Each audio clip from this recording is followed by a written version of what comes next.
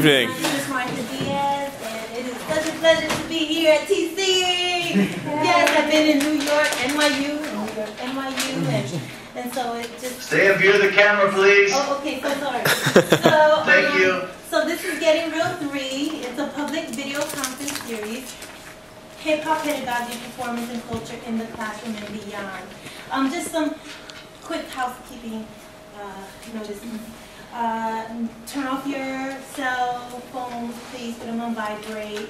Um, if you speak, this microphone will pick you up. And so if you can, remain silent for the presentation and then we'll have a conversation afterwards.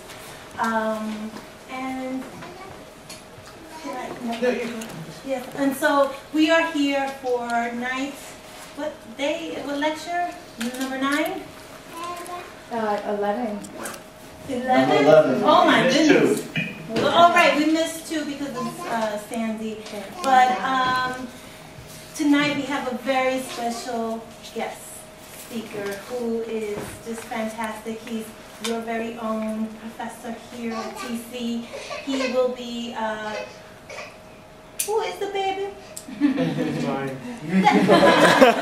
of course, Dr. Morrell's son. Um, he, uh, Dr. Morrell, Ernest Morrell, is presenting on hip hop and English education, production, poetics, pedagogy, and praxis.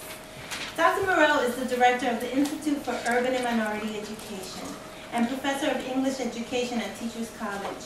He is also the vice president of the National Council of Teachers of English and will assume the presidency of this 50,000 member organization in 2013. For nearly 20 years, Dr. Morrell's research has focused on drawing upon youth's interest in popular culture and participatory media technologies to increase motivation and to promote academic literacy, development, civic engagement, and college access. He is also recognized nationally for developing powerful models of teaching and learning in classrooms and non-school environments, and for engaging youth and communities in project in the project of educational reform. Please give a warm welcome to Dr. Ernest Morrell.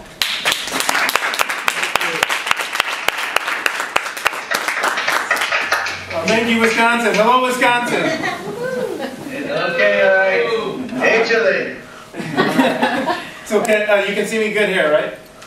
Yeah, yeah. Okay. Beautiful. All right. So um, welcome to uh, to everyone who's here in New York City. We have a full room, and for those of you who um, have not seen the series before, the way it normally works is someone comes to warm up the crowd and does a poem. Um, or some kind of creative expression, and then the speaker comes. Um, but today, uh, I'm doing both of those. Yes. Right, um, so I'm going to warm us up with a, a, a poem that I think you will recognize after I begin it. Hopefully I can get through at least most of it. Um, and then I will switch character and come back to the talk. Um, but this poem uh, says a lot to me about the power of, of hip hop um, in young people's lives. Um, this was a poem that was very powerful for me in my life when I was a, a youth. So uh, the first time I encountered uh, this poem, I was 15 years old. And so you can imagine uh, a 15 year old uh, encountering the text that I'm about to read uh, in his room, you know, listening to it on a, on a cassette tape. And at the end of the song, three minutes later, four minutes later, feeling, you know, a little bit taller, a little bit prouder, you know, a little bit smarter, and a little bit louder, right? And it was nothing in my uh, creative literary life that impacted me the way that hip hop did when I was 15 years old. And I argue, still doing that 30 years later for folks. All right, so here's the poem. You got to give me some love to get through this because I uh, this is this is a stretch for me, but I wanted to read this. Yes, the rhythm, the rebel. Without a pause, I'm lowering my level. The hard rhymer, where you never been, I'm in. You want styling? You know it's time again. D, the enemy, telling you to hear it. They praise the music, this time they play the lyrics. Some say no to the album, the show. Bum rush the sound I made a year ago. I guess you know. You guess I'm just a radical, not a sabbatical. Yes, to make it critical. The only part of your body should be pardoned to. Panther power on the hour from the rebel to you. Woo! Yeah. Radio suckers never play me on the mix. They just okay me. Not known and grown when they're clocking my zone. It's known, snaking and taking everything that a brother owns. Hard.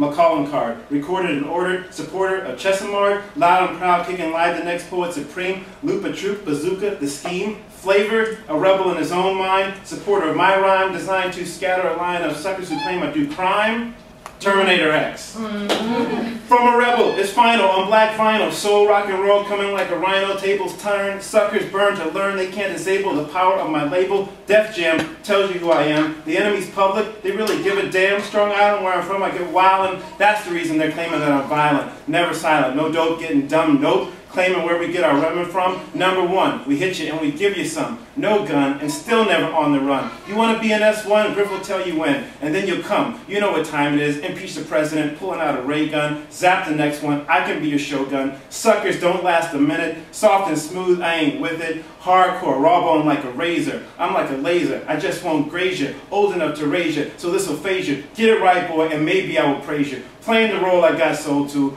voice my opinion with volume, smooth, know what I am, rough, because I'm the man.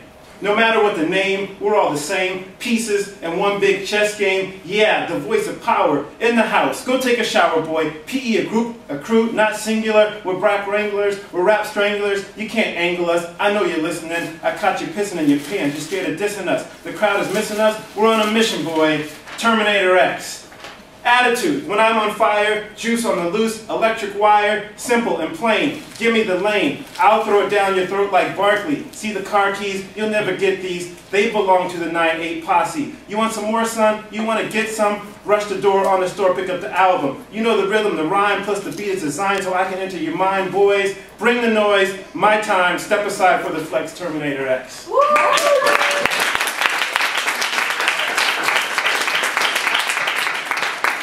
you.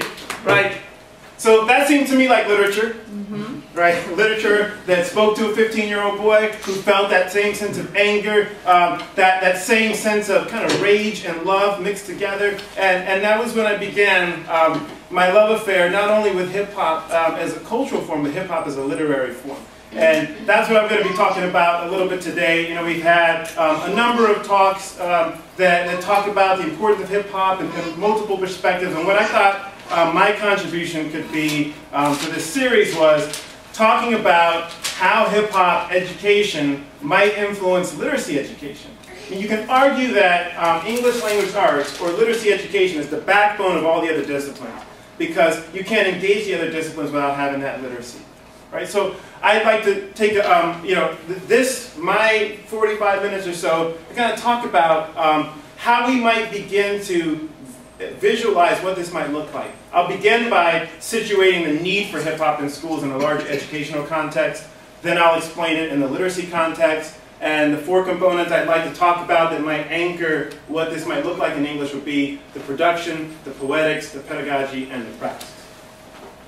Right, so I'm going to start with, uh, with another poem. Um, this one is from one of my uh, students that I worked with in California uh, who participated in, in, a part of a curriculum that was centered around hip hop. And this is how he talked about the role that being a poet, um, being a, a, a hip hop poet played in, in changing his life. Uh, living in a very unsafe neighborhood, Going through life, critically misunderstood, got robbed at the age 7, stole my first bike at the age 11, lived in El Sereno, but raised in Hazard, living in the ghetto was pretty much mastered. Still, I live my life freely. All I want to do is be me. My uncle went to jail as a teen. He did the stupidest things I've ever seen. I was so close to following his every step and could have had so much street rep. But I'm leading my life toward a different story. I'll make sure people see me achieve glory. I'll be here forever. You know, I'm in my fall shot. And I ain't waiting for closure. I will never forget it. Forget it. Did you get the picture yet? I'm painting you a portrait of a youngster. Right? And he goes on um, in that poem,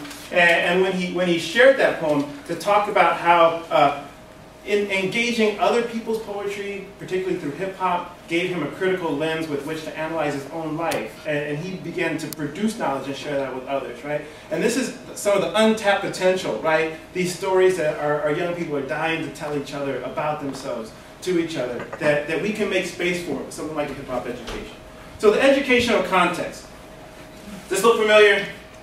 Mm-hmm. right? Heads down, looking at a desk. Not every classroom in America looks like this, but many of them do, right? And so you have to ask yourself, what, what kind of purpose does this education serve? Well, This education serves the purpose of preparing people for uh, manual labor in an industrialized society. Right? The illogic of, of American schooling is that it encourages voicelessness because at the turn of the century when we, when we created schools, that's what they needed. People who could read the manual and keep their heads down and be quiet. Right? You ask kindergartners, six months into school, what does it mean to be a good student? Keep your head down, right? Don't talk. Just like this. Right? And this is the context. And we need to understand that it, that school, it's school that's illogical, right? Dropping out of school, being disengaged from school might be destructive, but it's not illogical. Right? We have to understand the logic of educational disinvestment in our young people. Right? They may be making decisions that harm their lives, and I would argue in many cases they do, but there's a logic to it. The logic is that the schooling itself is illogical.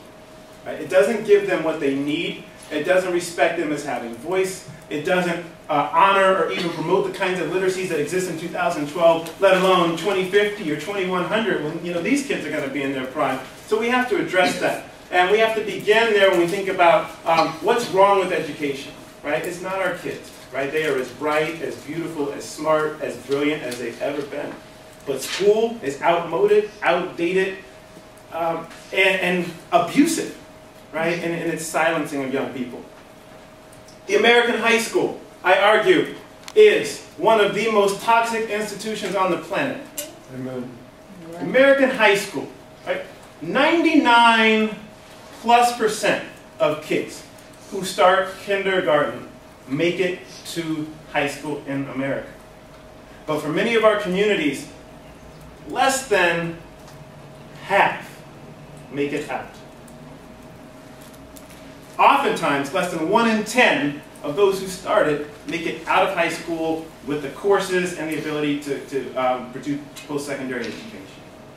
One institution, one like four-year snapshot. Our 14-year-olds show up to high school, half of them gone by the time they're 18. Right? You can see some of these images, right, where the high school is like a prison, right, where it, this kid isn't even in high school being fingerprinted. So we need, we need to think about that. Um, what can we do in this space to make it different, to make it more humane, to connect with kids? Obviously, why would you go through nine years of schooling if you didn't plan on going to 13? What happens that destroys those dreams, right? I argue that this is a K-16 um, perspective on hip-hop education, but I really focus on those four years. Maybe you include 8th grade, ninth grade, 10th grade, 11th grade um, as, as, the core time where we either inspire lifelong learning or we um, kick people out of school, right? And, and doom them to a life where they have to try to survive without having an education. These are some of the uh, statistics that I just said, uh, but uh, I want to uh, point you to this third bullet point about the cost of dropouts. There's a way to talk about this in economic terms. There's also a way to talk about it in humanistic terms. Economic terms, according to uh, Henry Levin, who's a, a, colleague here at Teachers College, um, Reducing the dropout rate by half would in effect bring a trillion dollars to the American economy over the course of a decade. Approximately $127,000 per student. Most of that will be concentrated in our central cities. If you look at it in the humanistic terms, the cost of dropouts is that smile, that young girl. Right? We think of this problem in two distant terms. Right? You think about it as dropouts. I think of it as lost dreams. Because that's what my students talk about. Every kid comes to school with a dream, right? And, and, and, and losing dreams, or losing some grandma's grandbaby, right? Some mother and father's only child, someone's younger brother, maybe your younger brother, your younger sister, right? We have to personalize this. The cost of dropouts is the, is the human potential that is lost. And half of our youth of color, more maybe, right, not having that opportunity. That's a national crisis, and I argue that education is a civil rights issue of our time. I'm here to talk about hip-hop, but hip-hop to me is the means, not the end. The end is radically transforming education for our young people. Right? That's what it's about. That's why I'm here. That's why I do this work, because I think it's important. Now, there are other possibilities for school, and that's the thing. We have to look at crisis in the presence of possibility right? This principal, who some of you recognize, is happy because he's raising his graduation rate, right? Um, there are possibilities every week. I go into a school that is succeeding, where kids feel good about themselves, feel good about being there, are doing well. You can drive two miles and you can see a school that's failing the same population. The variable is not the kids. It is the institution, right? We cannot look at this crisis as immutable, unchangeable right? We can change it, right? What do we have to do in order to ensure that kind of possibility? Simple questions, right? I think we ask questions that are too complicated. I want to think about very simple questions that I think make the difference between schools that succeed and schools that do not. Number one, how do we get kids excited about learning? Quit worrying about the achievement gap. Worry about getting kids excited about learning and you will not have an achievement gap. Schools where kids are excited about learning don't have the dropout issues, don't have the achievement issues, don't have the classroom management issues. Ask the simple question. Ask the positive question. Get kids turned on. Get them excited about learning. Question two, how do we get kids to believe in themselves as intellectuals, as readers, and as writers? Right? I argue more than having um, an ability crisis or an achievement crisis, we have an identity crisis. We know from countless surveys um, that the aspirations for youth are generally high across race, across gender, across um, class, across geography. All kids want to succeed. The difference between those who do succeed and those who do not is not because of aspirations. Largely, it's because of perception. That's the issue that we have to. What is it that's happening to these kids? Do you know the five-year-old? You know, if you want to see an emotional scene, you know, look at the first day of school in kindergarten.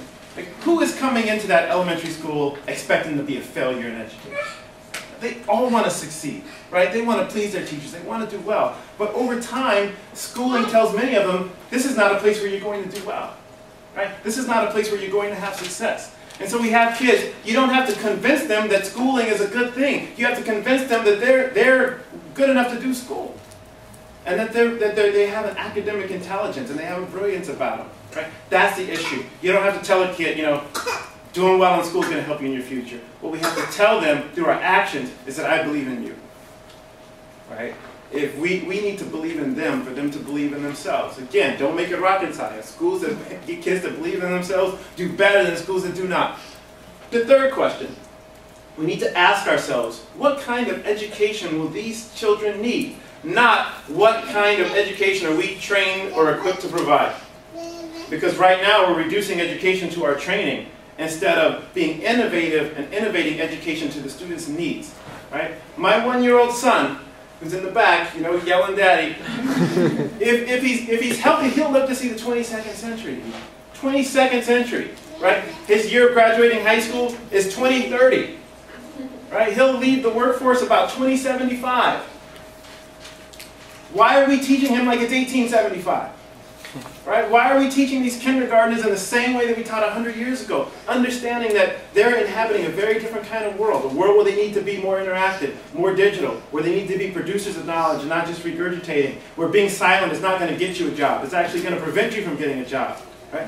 You need different kinds of literacies, multimodal literacies, digital literacies, critical literacies. We need to be you know, diverse in our spectrum of how students have the ability to communicate with each other. Right? That's the kind of education they need the, the barrier is us and our training, right? And, and, and not being able to get outside of that 20th century mode of, you know, this is what it means to do schooling. But we have to break out of that in English. And I'm challenging my discipline to do it, um, and, and, and, I'm challenging all of you to do the same. We need to understand that um, if we can impact literacy, you can change the culture of a school, right? Changing literacy doing something positive changes the culture of a school. Zero tolerance doesn't work because you're not dealing with the symptoms of the problem, right? You're dealing with it after the fact. Um, students feel better about themselves when they're achieving and when their literacies and languages are valued and they see themselves as doing well in school. They feel better about the school, right? They want to take care of it. They want to, they want to cultivate that culture. They feel better about each other. Right? I'm, I'm much happier to be here. I would be pretty put out too if I was 10 years old and all I got told every day in school was that I was a failure. Right? I might erupt and push somebody who bumped into me too because I'm feeling pretty angry. But students who feel good about themselves academically and who feel cared about in the school really see the school culture as precious. Right? So we need to connect hip hop education to the literacy education. We can connect the literacy education to changing school climate, right? This can have uh, all sorts of larger implications, much bigger than just helping raise test scores. So we know that uh, school climate impacts achievement. It improves academic identities. Students feel like we are smart here, not I am a good student. right? Um, one of the schools where I work, uh, you know, and has a, you know, on the door says, we all sweat, right? It's a we, it's kind of a collective energy, right? Everyone at this school is here to achieve. Uh, it increases um, communication and collaboration, right? It, it, it, increases connections between a local and a global context. So those are the kind of things that we want to have. And I think we need to think differently about the inputs. Um, finally, uh, before I jump into um, a few uh, theoretical considerations that will frame um, this, this view of hip-hop in English education, we need to cultivate youth voices. Right? That, that should be our primary goal at school, is giving a kid a voice and giving her you know, a, a sense of self and identity. I can't predict that future, but I want to help the young girl who's going to be able to invent that future. Right? To have the confidence of her voice an academic voice, community voice, right? Diverse voices, voice in print, voice multimodally, voice through genres like hip hop, digital filmmaking, right? Because we know that youth are motivated to have something to say. What we can help them do is figure out the multiple ways to say that. Help them feel good about their ability to say that. Help them say it with authority and power. And help them to use their voice instead of violence. And most importantly, to help them use their voice to work together for change. Right? That's how we can change the educational context through an empowered model of literacy education. Um, and finally, this is the last one. Uh, one of the biggest issues why kids are dropping out is because lack of attachment. Right? And I argue that, that hip hop in English education can help us to increase attachments. There are several kinds of attachments that are very important for young people to make. We know in life, if you don't have a primary caregiver who you're attached to, it's much harder to develop um, socially. It's the same in school, right? If you're not attached to the academic world, if you don't see yourself as being able to do academic work and mm-hmm. liking it, it is hard for you to be attached to school and to develop the literacies you need in school. Two, if you're not attached to the others in your classroom, right, heads down, you know, you're in the back doing, you know, busy work because the teacher thinks you read below grade level, that's not going to get you attached to others in your classroom. Right? Learning how to communicate, working together as groups, working on projects, figuring out what can we do in the second grade to help change our community, change people's values. Right? That's going to get you attached to others in your classroom. Then that student is gone for two days and they come back and everyone says, we missed you. Right? It wasn't the same without you here. We know that makes a difference. High school dropout research. High schoolers can point to you know, more than two people on the campus who care about them, they're much less likely to drop out. Again, not rocket science. Um, attachment to their community and the larger social world. Not seeing, having to make a choice between being attached to the community and being attached to school. Right? Those identities aren't antithetical to one another, they inform, they're dialectical. The more I do in school, the more that gives me power to do things in my community. The more I do things in my community, the more it reinforces why I need to do school. Right? Schooling can do that, can bring those two together, can form those kinds of attachments. All right. Uh, a couple of things about the, the, the, theory that, that kind of frames this work. The first is, uh, what motivates kids, right? Remember that question, what gets them excited about learning? What motivates kids? Well, we know what doesn't motivate them. I mean, this theory that I came across in my second and third year teaching changed my teaching life and what I did. And it's, it's, it's a long name, the expectancy value theory of achievement motivation, but it basically says um, there are two factors that determine how motivated you're going to be. The first one is um, confidence, right, or the expectation of success the more that I am confident that I can actually perform a task, the more motivated I'll be. But the opposite of that is true. If I do not expect success, I will not be motivated. You can yell at me, you can threaten me, you can call my mama, you can make me put my head on the desk, stand in the corner, wear a dunce cap, whatever. I'm not going to be motivated if I do not believe I can succeed. So if you want to raise motivation, you have to raise confidence. You have to, every kid has to expect success. The second is relevancy or the value proposition.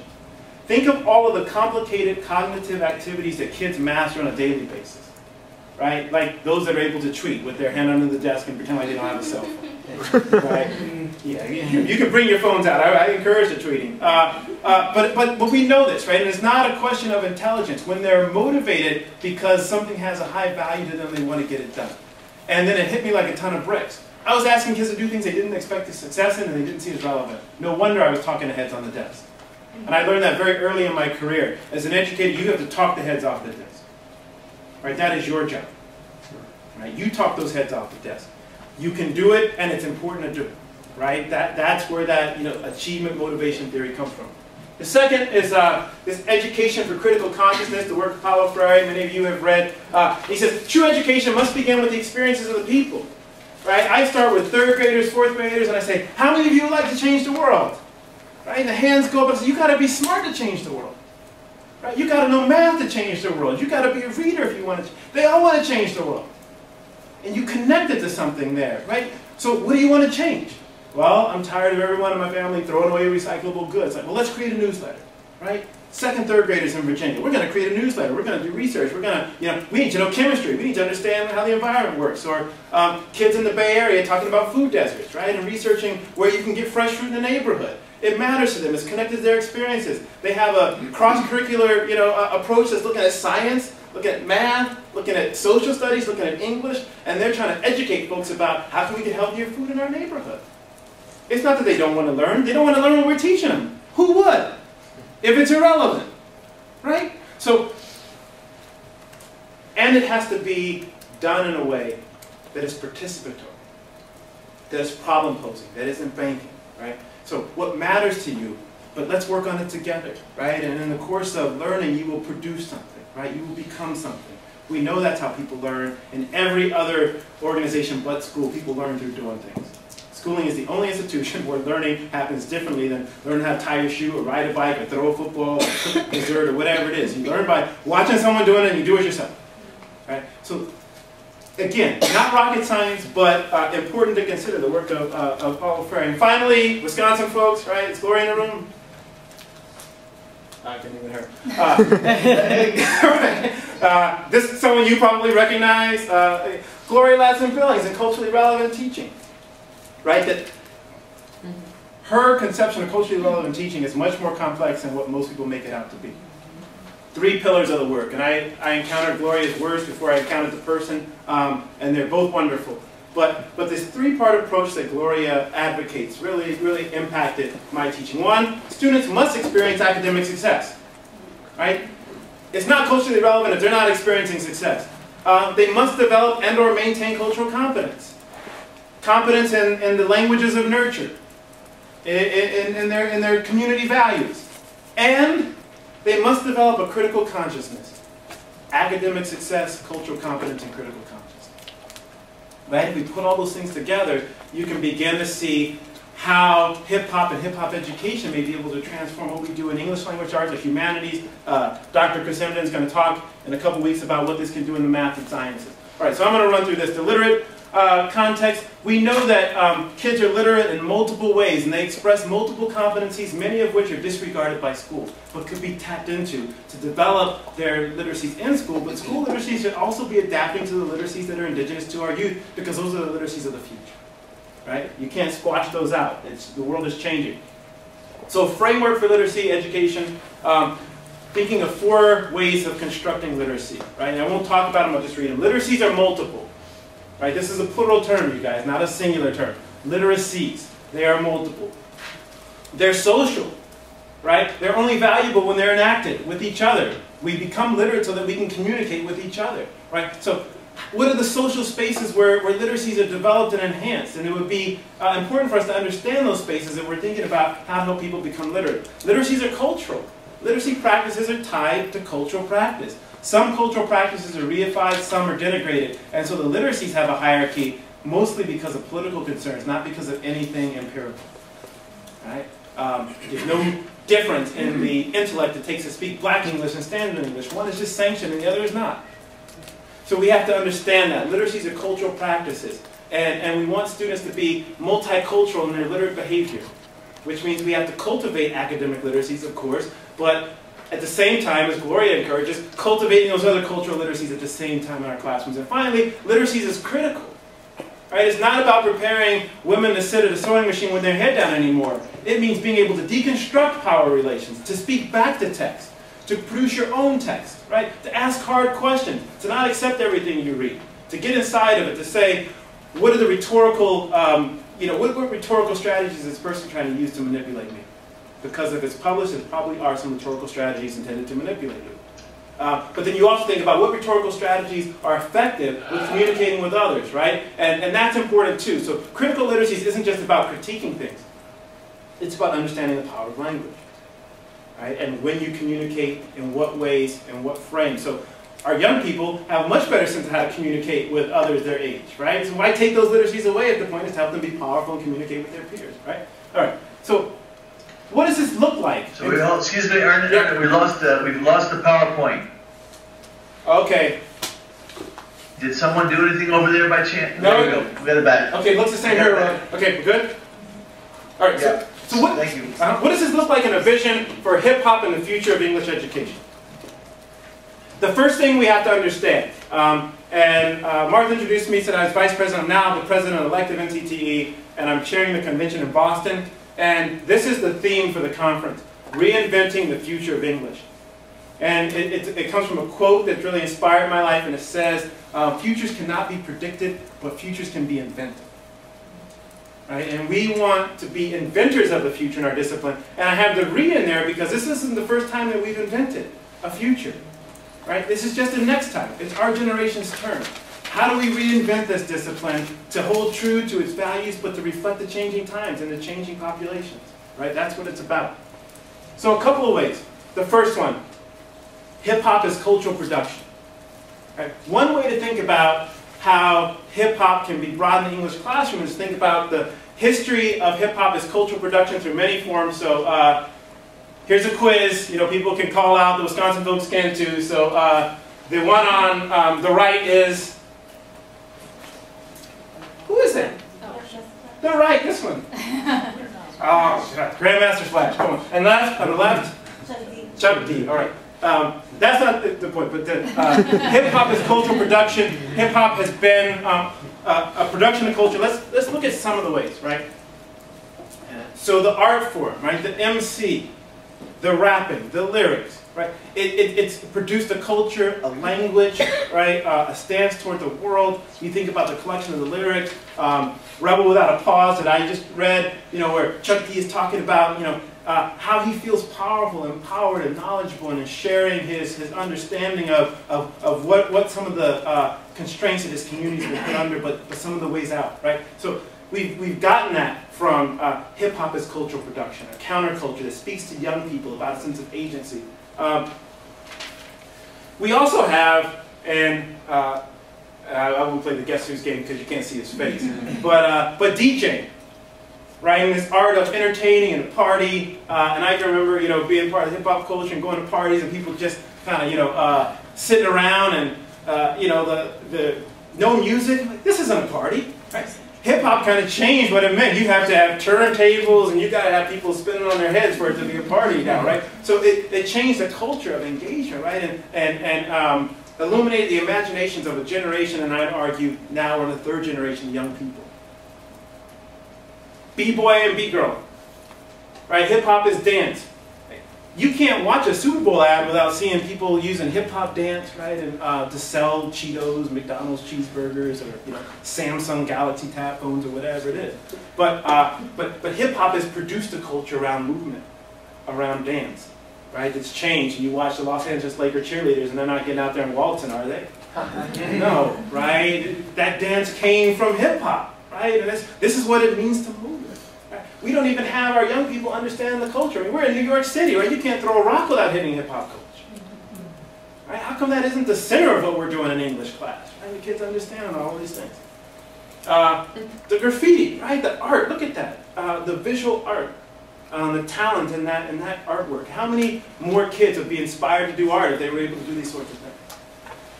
So uh, I want to expand what we think about we think about hip hop education in English class. I'll get to the, you know, looking at hip hop as poetry, but I think hip hop is a, is a form of cultural production. Imagine the kind of uh, interactive, multimodal research projects kids could do about hip hop production in the community, right? Whether they're looking in Wisconsin, uh, whether they're looking out here in New York City, or, or globally, in a global context. Look at what's happening in the continent of Africa, or Latin America, the Caribbean. Uh, the Czech Republic, right? You know, it's, it's, a global phenomenon now. And, and think about how much more excited a kid might be to actually do research on something like that. Uh, fashion, right? We produced a whole culture around fashion. Um, what it means to be hip, right? So, so the, this is a, a very, you know, robust area of study and understanding how hip hop produces culture.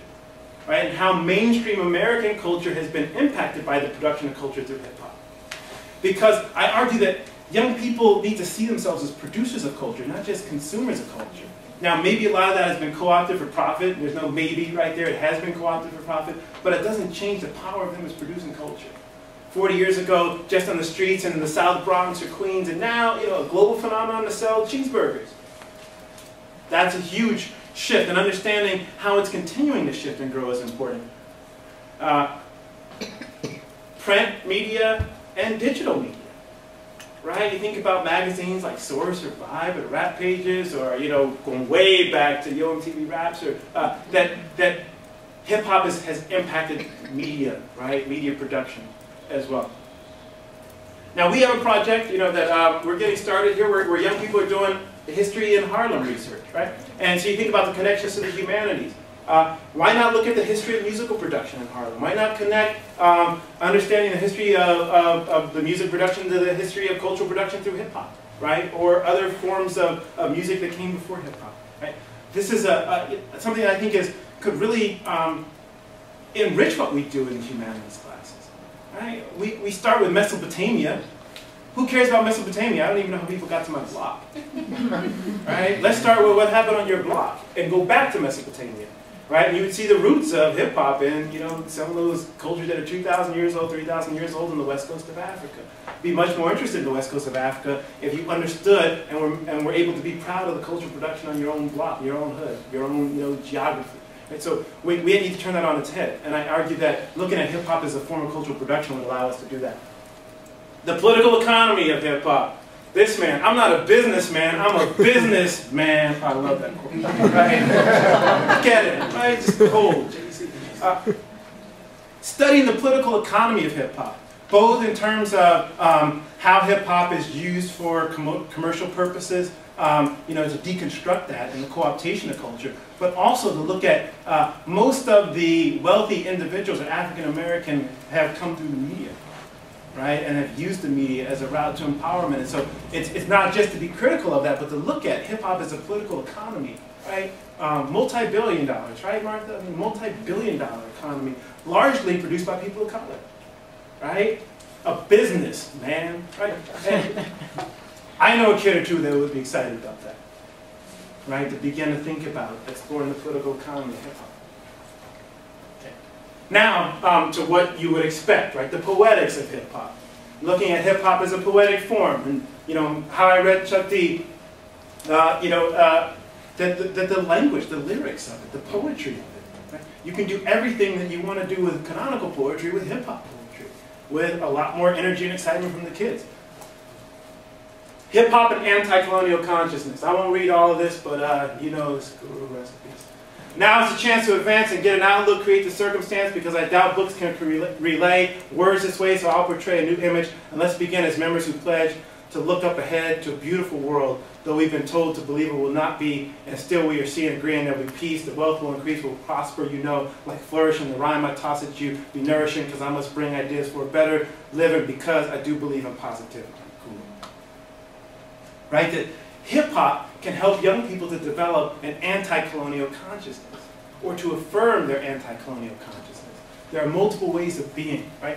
Understanding how you may be at odds with a majoritarian view, but that doesn't mean that your views don't matter.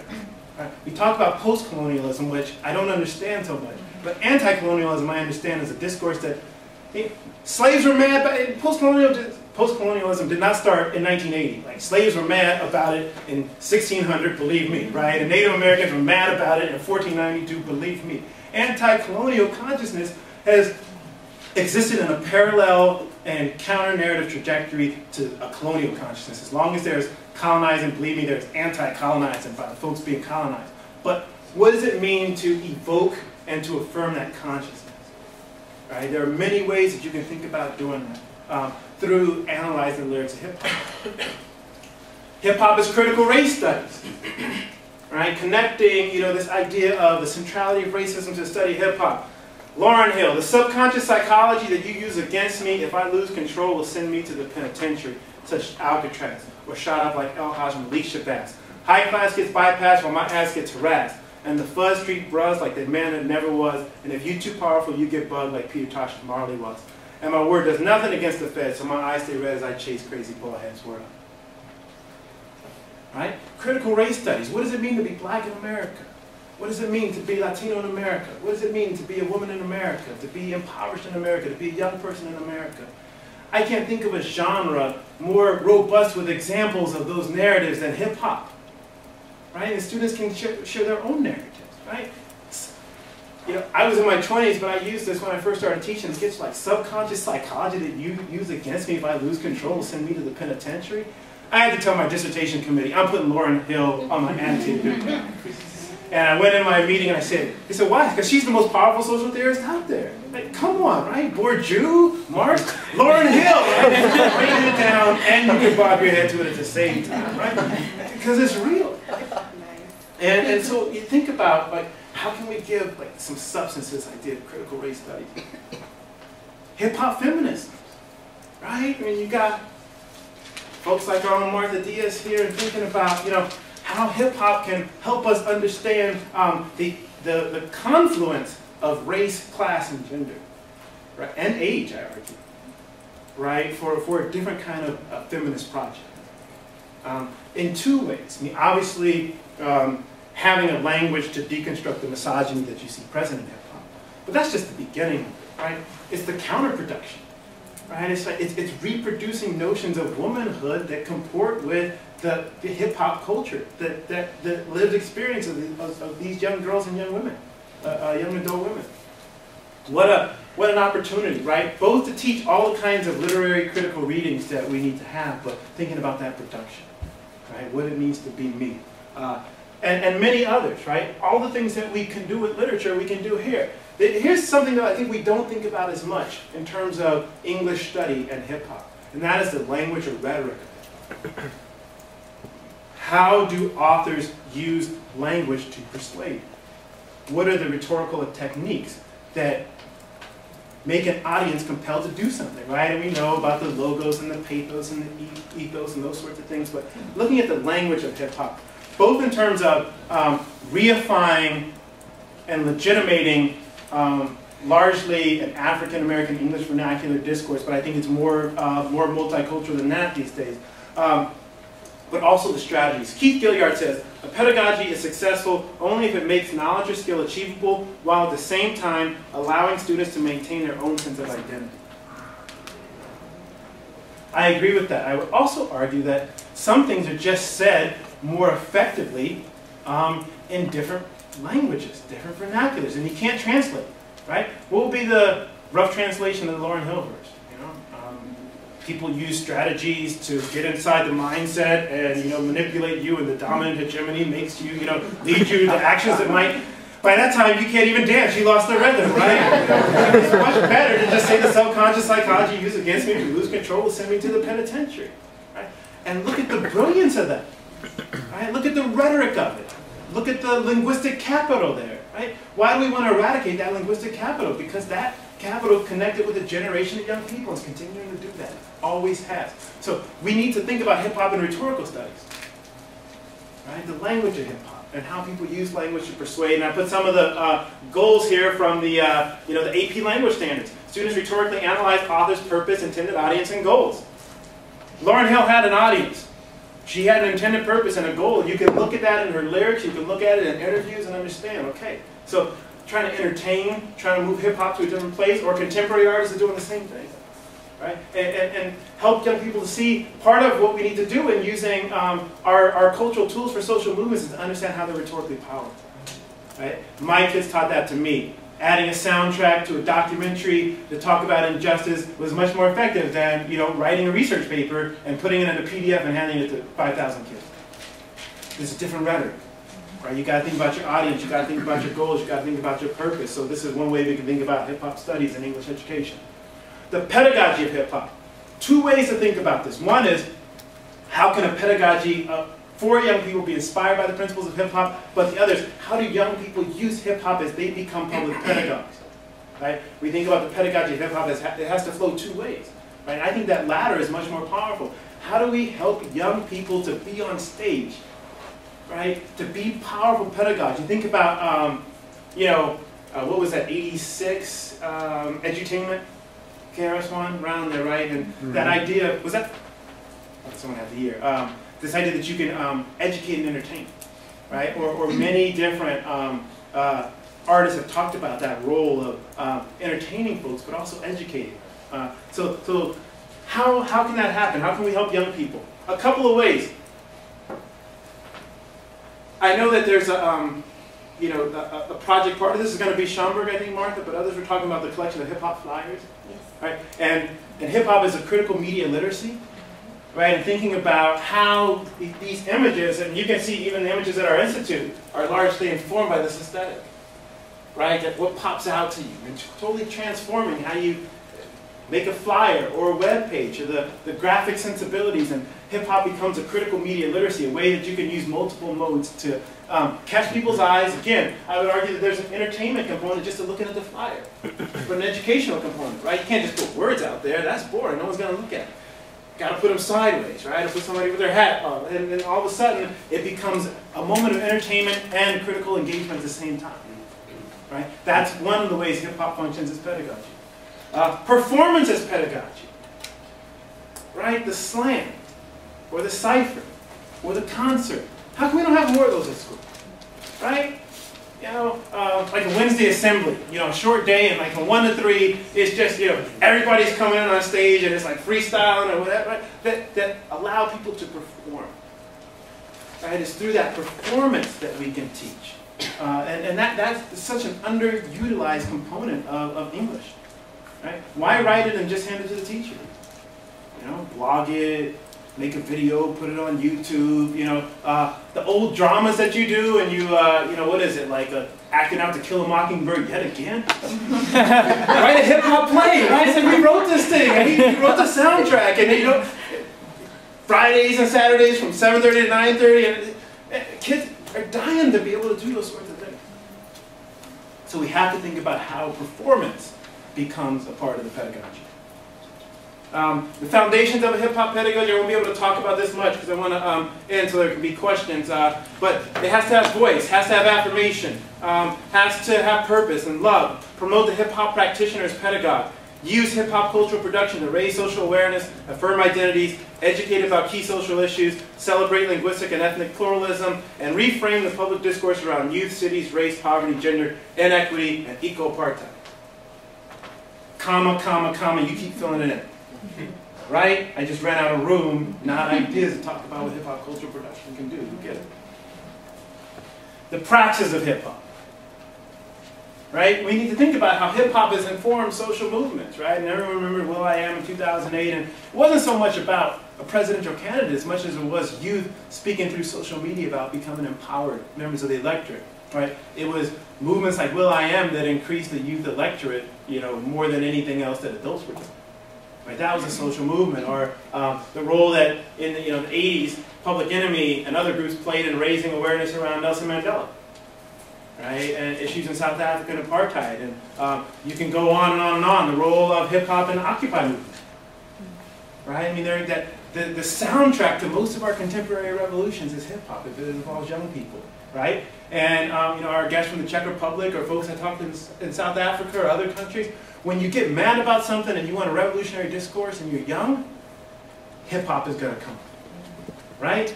I mean, that's, that's the way to say I'm mad about it, right? I want to do something about it uh, in, a, in a global discourse in, in, in uh, 21st century. So we need to tap into that, right? And have young people studying that and thinking about how to produce social movements. What if producing a social movement was your final project in English? Right? Get to it, right? November 19th, you know, I want a draft of your movement by December, and you got to do it, right? Um, it sounds funny, but it seems like a good project to me. Starting a social movement. So finally, hip hop in the future of English. Could this be the back corner of your English classroom? Right? You think about the grants and the stuff you bring in there, that doesn't cost as much as all those grammar books you have in the classroom. You know, or the curriculum. Write a couple grants and I'm going to get some keyboards and some speakers and, you know, we got a, a studio. Or take that old classroom that nobody uses. Like, you know that classroom no one uses? We're going to make it into a hip-hop studio. right? See how many poets and authors you have showing up in there trying to book their 15 minute time slot, to, you know, throw something down and beat makers, right? You know they would use it, right? Yeah. Why don't we have them at school? Why aren't there recording studios at school? Why, why aren't there record labels at school? Right? Why isn't that happening? Think this could be your final project, designing the coolest flyer? Or putting on a project, you know, for whatever you do and have kids using graphic arts to design flyers in English class? And this be a genre? Right? You think about the intelligence and the multimodality in creating these things and the brilliance in them? Cool. Could this be your next school assembly? Instead of say no to drugs, or, you know, we're going to raise our test scores. Like, no, this is our assembly. Right? We got dancing, we got MCs. What happened to the school assembly? Where kids actually did stuff. Remember those? I mean, some people are as old as me. Where we used to have assemblies where kids did stuff, right? And it wasn't just talking about raising test scores or, you know, you can't wear hats or use cell phones.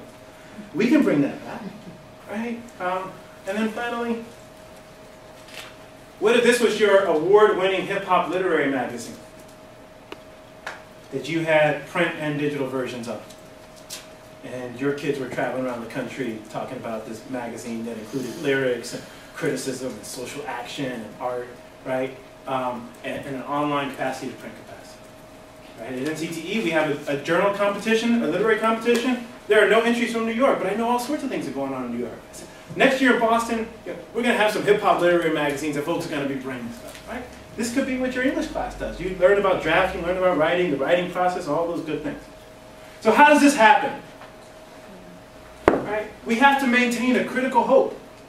We have to maintain a belief that this is actually truer to our discipline than what we are doing now. This isn't antithetical to the discipline. This is what English has always been about. Understanding and deconstructing the human condition, having the power, the literate tools to be able to tell your story because we are the sum of the stories that we tell ourselves about ourselves. That's how we are constructed as people. This is English. It's not antithetical to English. It's not tangential to English. It's not what you do after English. This is English. Right? Hip hop and English are on the same trajectory. So we have to maintain that hope. We have to be willing, like Martha's doing with the Hip Hop Education Center, to put ourselves out there, to collect information, to say, we're going to go in classrooms. In classrooms. I love all the outside of school stuff, but it's 8.30 to 2.30 where our babies are being lost. Right? Come on, you got to fight that battle 8.30 to 2.30. Can't come in there 3.30 after that kid's been beat up all day and be like, okay, now let's make some beats. Make the beats in math class.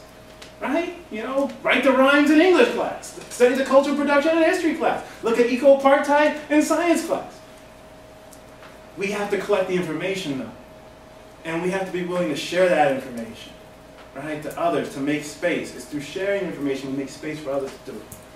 So finally, you know, I just want to say, folks are doing this. Give a shout out to folks that are coming next couple weeks. Um, Jen Johnson is going to be coming talking about the hip hop uh, debate, and the kids are as good as anybody in the country. Uh, Chris Emdin is going to be coming and talking about uh, what this looks like in math and science classes. And, and Sam Seidel is going to be talking about what it looks like at the whole high school. He's got a hip hop high school, right? We need to know about that. We need to be sharing that, right? Because the best way to predict the future is to invent it. Right?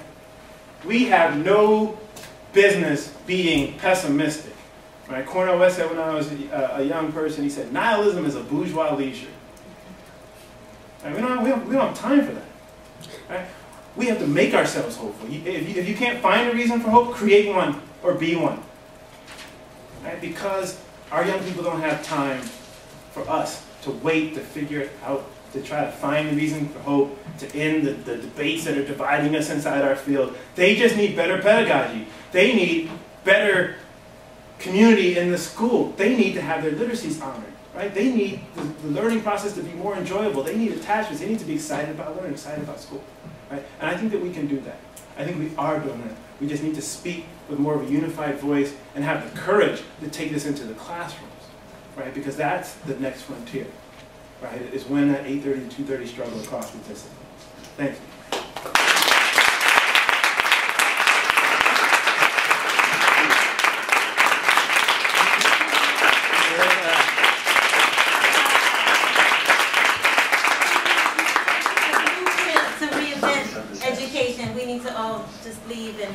And, and do it. Um, you know, cool. I, I, remember what, uh, my, one of my favorite uh, quotes of our think tank the other day was uh, Roberto's hope dealer, calling us yeah. a hope dealer. You're a hope dealer.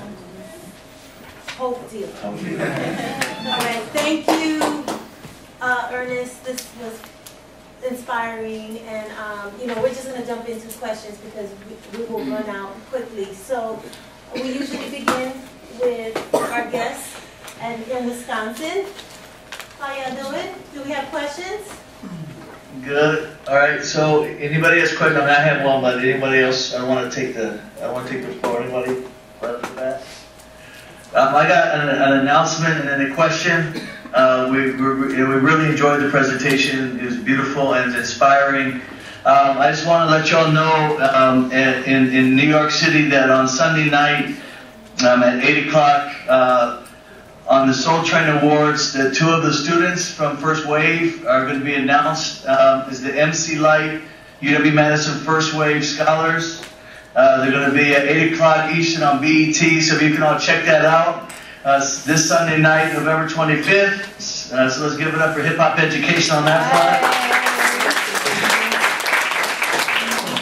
Uh, and, and actually, you know, my question for you, uh, uh, Ernest, is the about now your leadership role at a national platform, you know, within, you know, particularly on this conference that you have coming up, uh, you know, that you really have a national platform to kind of talk about this issue of hip hop pedagogy, you know, at, at, at that kind of level with all of these teachers.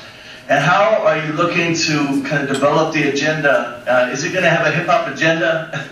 Uh, how is it being the chair? And, and, and kind of with your perspective, knowing you know how mainstream for the most part, you know, English educators are, um, having one, of, my mother being one of them, um, and just you know just seeing this excitement. But the fact that you're in that position is extremely exciting. Uh, but then also knowing kind of also the fears and the doubts and the challenges Yeah. and the fact that really hip hop studies and education is just at this very pioneering moment. You know, we might think it's more advanced, but when we start moving in the mainstream, we realize how little effect we've had Yeah. on the you know on the broader world around Yeah. us. So. Yeah. That's a, that's a good question. Well, I, I, um, and I'm open to suggestions, but there's three things I've, I've been thinking about doing um, right off the bat. One is uh, bringing students to the conference, right? And so not just having the teachers present, but students present. We're going to have students from Boston. Uh, hopefully, we're going to be able to bring some students from New York, New Jersey um, to lead sessions, right? Where, where, they're, where they're talking about this from their perspective. The second thing that I'm trying to do, work backwards from that convention, is um, working with teams of teachers who are doing this kind of work so that they can come and share their narratives with other teachers. I mean, there's one way to talk about it in the abstract, but um, to actually have um, teachers there talking about the, the, what they're learning in the class, some of the challenges, but some of the um, successes they're having is important. The third is um, on the hip hop agenda. You know, I want to be able to bring in teaching artists that are that are key speakers at the convention because we always have um, authors, right? But those authors are normally young adult lit authors or authors of literature. But to have some of the hip hop practitioners in there as authors, I think would be pretty exciting sessions. So those are three things that we're going to do. Um, it's in the call. I've been talking to people about it, but I'm really at this point trying to recruit. If you know of uh, student groups, if you know of a school that's doing this, if we can reach out, um, try to help fundraise, get people there to Boston, I feel that's the best way to share it with the uh, with the more mainstream teachers.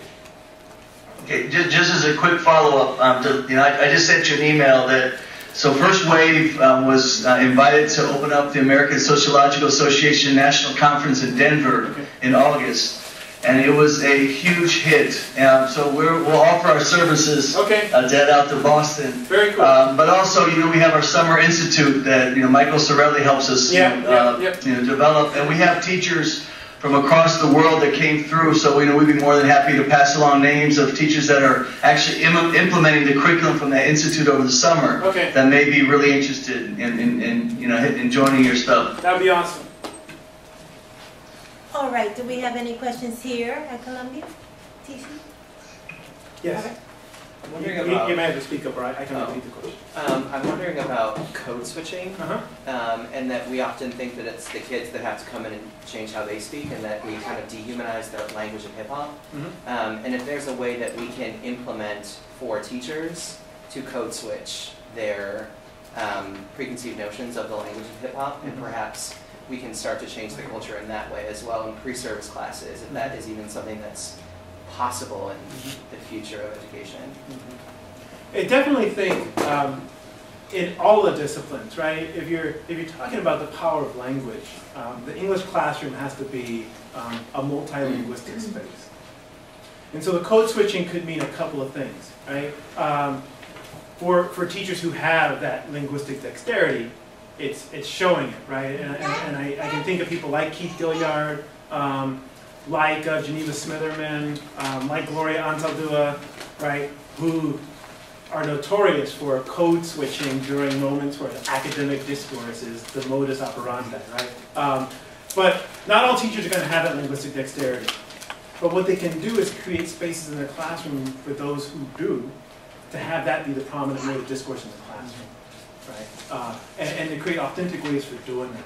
That's why I think the part about hip hop is language study or rhetorical study shows that in many instances it, it, it, is, it is preferable to have like you know discourses of hip hop or, or African American uh, language or, or Spanish, other non-English languages, if you're, if you're going to be rhetorically powerful. Right? If I'm going to do something in my neighborhood um, about eco-apartheid, uh, and, and my neighborhood is Upper Manhattan, I better, I better be multilinguistic in my approach.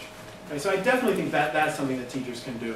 And this whole idea, are we teaching standard English? And like, we, but you, what you're really teaching is the power of language. Right? And, and, and that, that means being fluent in the 21st century in multiple modes and in multiple languages.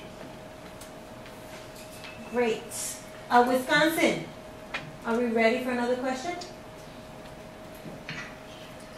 I'm curious to see what type of um, response have you gotten or, or do you anticipate from parents uh, as far as endorsing or, or protesting this being uh, mainstream in the classrooms? That's a good question. I think um, that's why I start with the educational context. I think you have to have a narrative to share. Um, you have to expect reasonable skeptics, uh, and, and that, that's a good thing. Um, what I think that it offers is, uh, you know, what I, what I would say to parents or to teachers is, uh, what are our key challenges, right? One is that students aren't engaged, right? And this is a way to begin to connect with students. Um, and, but what, mostly what I would do is share the work with them. Right? If you look at the kinds of things that are happening the, and, the, and the production the students are having, um, that, that that's what sells parents. Is this going to be rigorous? Is it, is, is, is it going to demand excellence from them? Uh, most of the things that are happening now, you know, I wish I could say that we were, you know, supplanting rigorous literary curriculum in these English classrooms. Kids aren't doing anything in the classrooms, right? So it's not like I'm taking Shakespeare out. They're, they're not even reading in the classroom.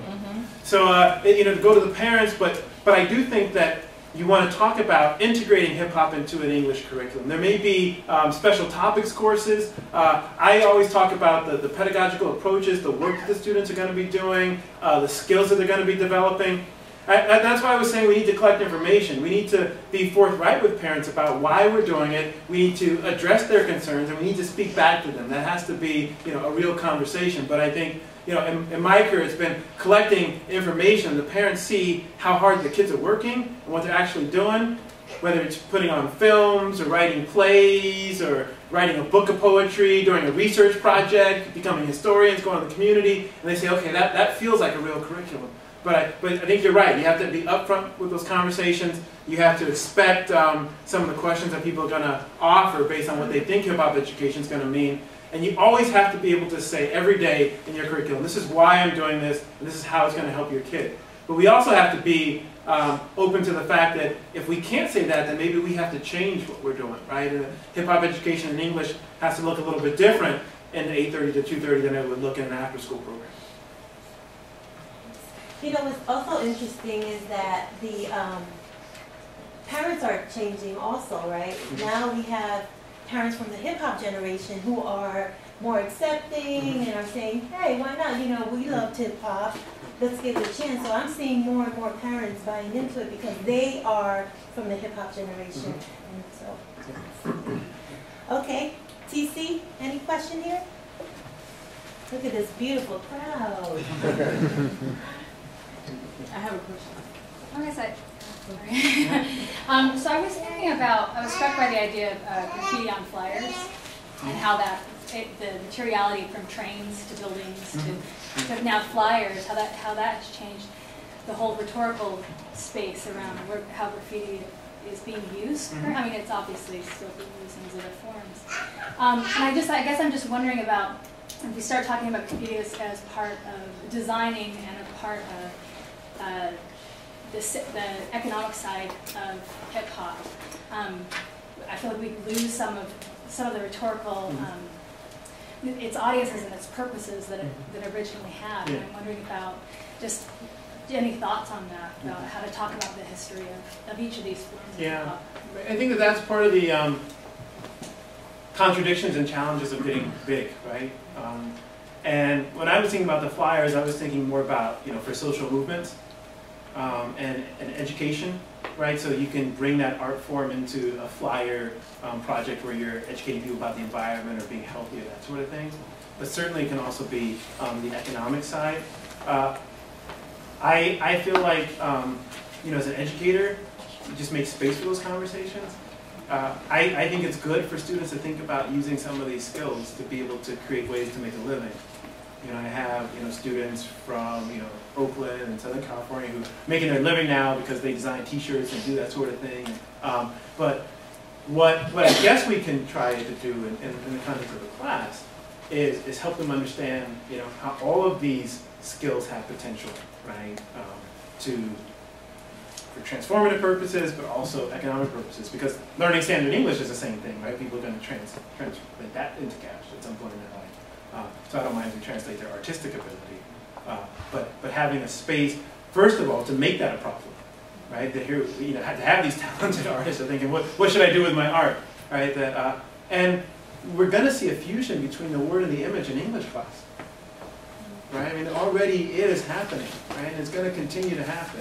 So I think um, things like flyers or web design um, is, a, is a place to begin to do that. To think about how words and images juxtaposed together become part of what we do in English.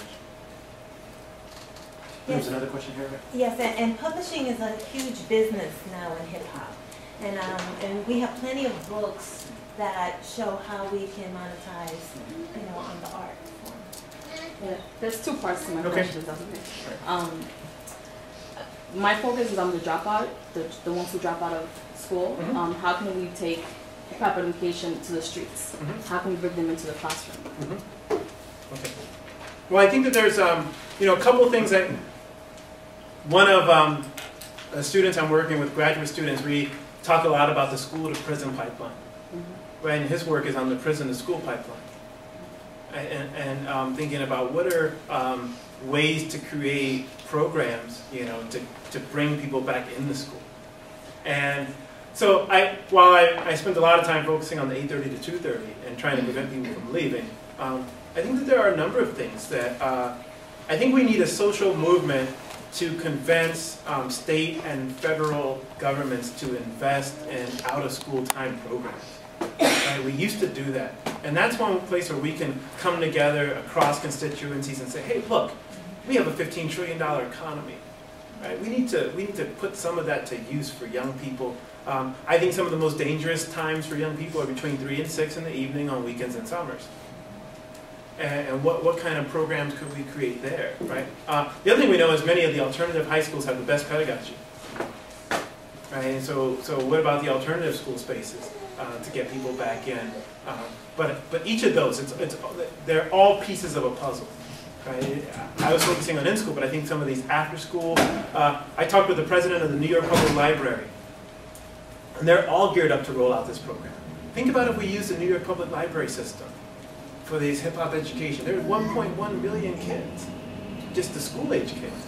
But if you have programs like 16 to 23 year olds, um, why don't we do things like that? I think the library is an untapped resource, right? And they have these spaces, right? So we could have programs there. Uh, and again, it's, it's, it's figuring out, you know, how to use the spaces that exist, how to create the collaborations like between something like the Hip Hop Education Center and the New York Public Library, but also um, lobbying city, state, federal entities for, for, to support that. Yeah, what, one, you mentioned the library, um, you know, the MacArthur Foundation is funding libraries to build studios Yeah. in the library. So after school, the kids can go and produce their albums, they can even do movies. So it's a very exciting time right now. Okay, Wisconsin. You a fan. Has a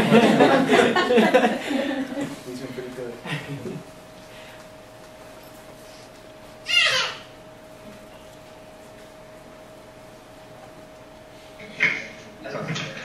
Okay, so we end up talking a lot about how hip hop pedagogy can be successful for students in terms of literacy and in terms of um, getting students interested in academics and all these things. And I feel like most of the time we're talking about um, students without disabilities. And so my, or students without cognitive and physical disabilities specifically, because I think a great deal of this kind of talk also um, includes students with learning disabilities, specifically in areas of like science or English. And so my question is, how can hip hop pedagogy or a hip hop curriculum be beneficial or even healing to students with cognitive and physical disabilities? What method of inclusion are we considering? Okay, that's a good question. I think, um, I mean, the schools where I'm working with are considering that. Uh, There's a range. Uh, one of the things that, I mean, you bring up a good question. We have to deal with two simultaneous realities. One is that our students are overdiagnosed. And, and so, so a lot of them that are, um, that, that, are, that, are, that are diagnosed as special needs are, are diagnosed for non-cognitive reasons.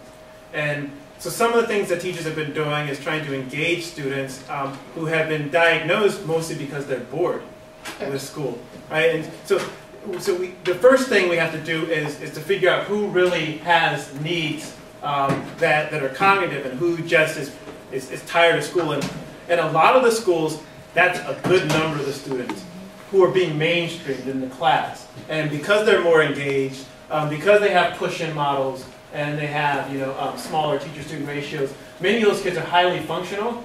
Um, I should look this way. Many of the students are trying to make eye contact with you and look away from the camera. Uh, many of those students are, are, highly functioning in the classes. But some of the other things we know um, about healing, learning through music, right? Learning through play, uh, having the opportunity to be tactile, um, oral language as a strategy for developing written language. I mean, these are things that I think are um, good for all students, but, but particularly for students um, with cognitive disabilities and with physical limitations. Uh, so I think you're right. Uh, we have a very difficult uh, proposition because we want to make sure that kids get what they need. We need to make sure that the kids are properly diagnosed. We have a, a, a crisis of overdiagnosis now. But we also have um, not effective strategies for differentiation for kids who really need the help. Um, but in the schools where I've been working, we've been able to do that, thinking about how to modify the curriculum. But the, one of the things that we always do in the literacy classroom is allow more um, use of oral language as, as a way to, to, to um, develop comprehension, um, develop analysis. And, and, so I think that a lot of these strategies um, are also effective because, because they use oral language, because um, they use more visual imagery, uh, and, and, and, and the music uh, which has, has been proven to be really helpful.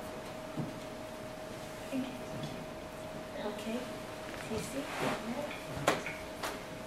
I, I guess, um, Can you stand up so we yeah, can sure. project? Um, hip hop has uh, manifested itself in the world and reached a, a sort of international audience. I was wondering, uh, and in local context, I was wondering, have you seen any successful hip hop pedagogy in a foreign language class? say hip hop in a Chinese class or a Spanish class, and so on. Yeah, well, um, in, in East LA, I mean, they were connecting the corridos, the hip hop, um, and so it was using Spanish language uh, in, a, in, a, in, a, school um, that, that had a, a, large Latino population, but that was more in uh, Mexican American studies classes. Uh, but it, that would be very interesting, right, to think about the multilingualism of hip hop. Um, I have seen um, many foreign language classes use popular culture to teach foreign languages.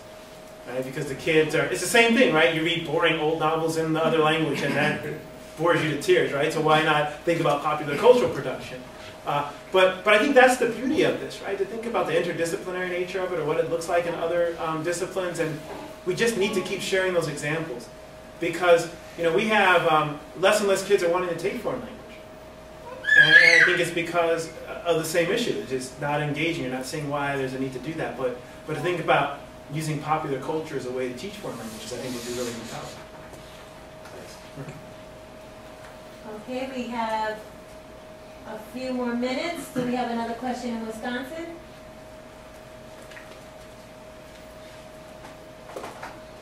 Um, yeah, I was wondering, um, it seems like uh, there's a big emphasis in Wisconsin about the Common Core standards coming up and the change, and I guess that's national as well.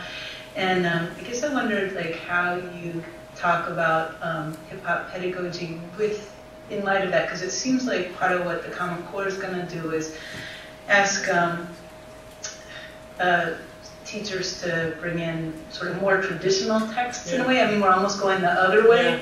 Um, and so, and then also to bring in more texts that aren't literature based. Yeah. so I guess I just wondered how you thought about talking about hip hop pedagogy given those political pressures. That's a good question. What we did with one of the districts I worked in New Jersey in August, we went through standard by standard um, as, a, as a, a, department. And we really found, I mean, you're right, there's a couple um, that throw in, you know, like at least one example from the 18th, 19th century literature, right? I mean, there's a couple of those in the informational and the reading, but most of them were, we thought, um, opening up more space for different kinds of text. Um, and it was much more um, what it meant to, to read deeply, to interpret details. Uh, and, and I felt the teachers, after reading that, felt like they had more space. Um, certainly, you're talking about multimodal units that would include some bits of canonical literature and some pieces from hip hop or other popular culture um, as being a hybrid. But um, we felt like uh, if we could do these things around deep analysis, uh, interpretation, the genre students will be writing in. So, for instance, uh, you know, say they were doing the hip hop cultural production. That could be the, the long term, what is it, the long term sustained research project.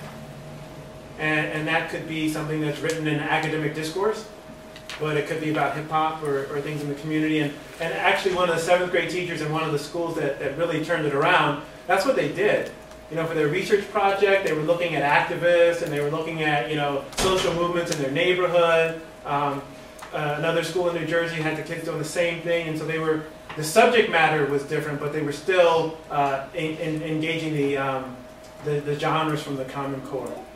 Uh, and I think when, when, we, when you think about the hip hop pedagogy, there are other informational texts too um, that, that could be consulted, the magazine articles and the media pieces, and, and so that, that's all um, you know, useful too. But what we try to do as an initial step, because very few of the schools where I'm working are willing to you know, have a hip hop 101 class, but how can you have a theme-based unit that is anchored in some canonical text, but, but it, it's a larger theme that allows you to draw in these popular cultural texts and weave them together.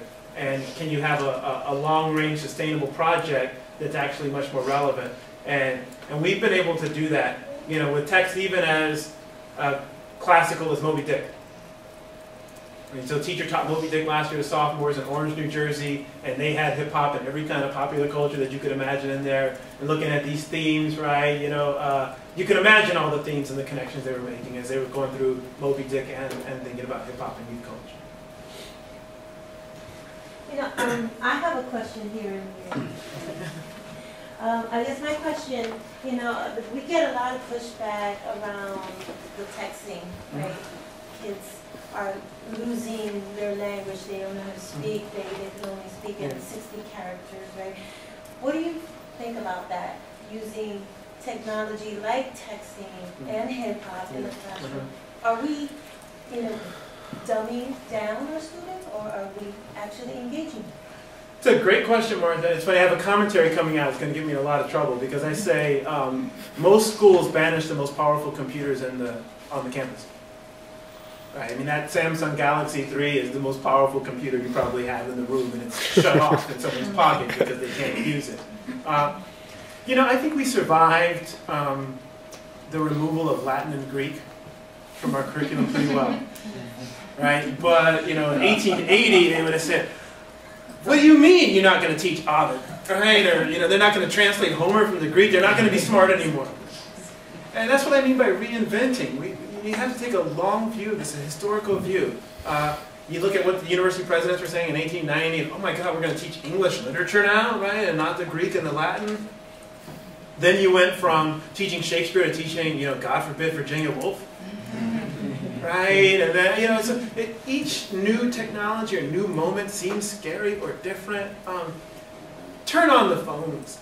For goodness sake, they're not even phones, they're mobile media devices. They're very powerful computers. And since you can't get online anyway at the school, the best way to access the internet, you know, I've seen a teacher say, can someone look that up on their phone because this computer is like, we're never going to get the kids are like, 1875, you know. They've already done it under the table anyway. I'm not so convinced about that. What we know about language is actually the opposite. The more languages you know, the better meta understanding you have of language. Right? You don't lose language. It's not, that's not how it works. The language proliferates language. Uh, so that, that is, um, but I, but I think that's on the way out. Uh, but, uh, but a colleague of mine and I are actually writing a op-ed about banishing the most powerful computers on campus. The common sense that that makes, which is not very common sense. Okay, I think we have room for two more questions. Wisconsin, do you have a question? Do I just post this? I can hear you. Hello? Yes, I can hear you. So first of all, thank you for, for your wonderful beginning. And this is just my usual question, and I apologize for it. How does a classroom that is not anti-child, that is not an industrialized model of producing obedient workers look? How do we allow children who are active beings to, to move and speak and not be the victims and subjects of top-down authority, no matter what you teach? You know, I, I see subjects change and subject matter change, but I don't see the way children are treated or what they're allowed to do. Use the bathroom when they need it, drink when they're thirsty, speak out, you know, not be, not be taught to walk in straight lines and raise their hands and, and be on task and stop when the bell rings and all that kind of stuff. That's a, that's a great question. I think uh, some of the things that I've been seeing, um, you know, when we you talk about 21st century learning, a lot of times people think you're talking about technology, but um, many times it's about an interactivity. So uh, at, at, one school, um, the teacher's essential question was, how do we foster a different kind of talk in the classroom? And so the teachers are asking that kind of question. We um, focus in on four kinds of talk. One is small group. How to help kids to be able to talk to each other in a small group to work on a long-term project. Um, a second was um, how do they speak in an open class discussion? Right? How can they build on each other's comments and listen to each other and do that sort of thing? Um, the third kind of talk was um, how they make formal presentations. And the fourth kind of talk was how they talk in structured online communities. And so the teachers have really turned these classrooms around where the, the chairs are facing each other and you see small circles and large circles and they're in Socratic sometimes and they have an inner circle and an outer circle and um, they're struggling through it because the students aren't used to, to talking in that way. But that's a step. Some of the other things I think um, are, are, bigger structural issues, and I can think of some schools that are uh, moving toward, you know, uh, you know, not having bells, for instance, in a school that has music during the passing mm-hmm. periods, and there's not bells, and um, you know, I think they still struggle with the freedom of movement for kids to go to the bathroom and that sort of thing, that they need to, um, you know, be able to have more open space at the same time, you know, maintain some order in the school. But I've been very pleased that uh, there's been much more focus I can see on interactivity in the classroom. And even though people are very uncomfortable with it, both the teachers and the students, the idea that the aesthetic of what the class looks like has to be different. So we do things like measuring the amount of time student talk versus teacher talk, uh, keeping track of how many students get to speak during the class period, and uh, Mostly in all the 90-minute classes, every student will speak in every class. Students will have a chance to write in every class, will have a chance to read in every class. Um, at least once or twice during the marking period, a student will make a formal presentation to her peers. Uh, and, and so they're, they're making those moves. I, I think um, it's hard because our, our schooling was instantiated in that industrial logic, and so many, many of us feel that's the only way schools are supposed to look. But um, but I, am on the optimistic side that, that I, I, see it getting better, although, I mean, your point is very well taken. We have a long way to go. Okay, and the final question here, anyone? Yeah, all right.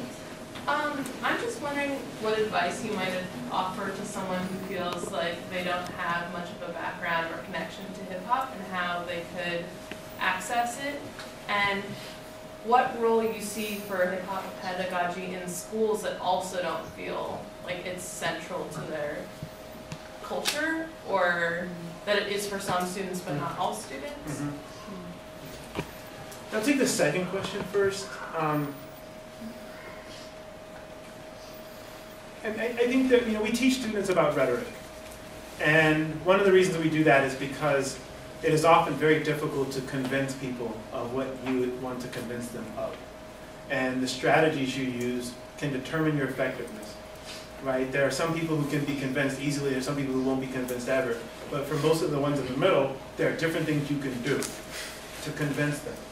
I always begin with what are legitimate concerns that this person has, and two, what is it that they need to hear from me that I am willing to say? And I've been in some pretty, you know, conservative places. Right? I won't name any names, but uh, I say so. How's that engagement going with your kids? Are they just fired up about what's going on? Let's go look at some classes. No, not so much, right? So that's a concern they have. Right? You know, are you interested in finding ways to engage students? Right? I don't jump in with, you know, uh, I brought some turntables, right, and rolling them into the classroom, but, but we, can, we can deal with the issue. You're not happy with the student engagement. Oh. I think we hung up? TC cut it off, cut us off. Oh, it's at nine o'clock already? They just cut us off. But we, yeah.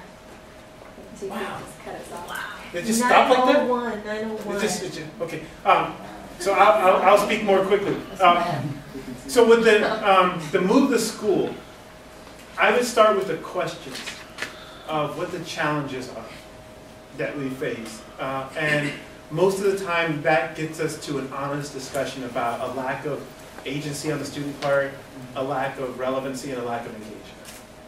The other thing that's really important early on, getting allies either in your school or across schools, and, and, and collecting information. I, I, I say it in an innocuous way, you know, like, well, what information will we need to collect to know if we're getting to where we want to go? So all of a sudden, you know, you're, you're, you have evidence that, look, the kids are more engaged. This is the work that they're doing. Um, I've seen that move in districts and in places where people, uh, people thought that was not possible. But I definitely would. Whatever. Uh, we're gonna be there. They're all going. Uh, but I, All right, we're all ready. Uh, this, he's finishing up. I'm, I, I- I can I can say goodbye to all the Wisconsin folks and thank you. All right, well, thank you very much. You, We really enjoyed it. Thank you Willie. Thank you. Thank you. Yay. Bye, Wisconsin. But uh, finding people to ally with. Um, what, what is your discipline back then? English. English. Okay, so then you know uh, we have teams of folks across the country that are doing that. I think how you define your cohort can be different. Um, so the core is not just the teachers at my school, but folks around, folks in this room. I, I, I'm looking at folks in this room who I know do amazing things and asking them. Um, but starting conservatively, right? Figuring out how to integrate it in ways that um, are kind of consistent with the discipline, making the disciplinary arguments is really important. Um, like I, I, obviously people call, they call me, they know what it is that I, that I have to do, but even people who, who wanted to be against it had a hard time arguing with all the evidence we know about why kids are not motivated, that all the things we know about language and literacy being plural, um, about classes needing to be more interactive, um, and about English changing. Right, the world of the 2050 is not going to be like the world of 1950. So, so doing those kinds of things, um, I think, creates more space. Um, it, it helps to move the schools, but uh, most everyone has some legitimate concern uh, and, and some legitimate needs that you can have fulfilled with, um, you know, moving towards something that could be like a hip hop pedagogy. Um, and getting research. A lot of schools, you know, people ask me, I will name some of the places that have positive, like Virginia and Kentucky, where, you know, at the end, the superintendent saying, when can you come back? Like rural Indiana, right? where they've got hip hop going on in the classroom, it's because we brought research and brought evidence and brought data, talked to them about issues that, that they agreed upon they had, and, and, and showing what it looked like in the classroom. But it's nine o'clock. All right.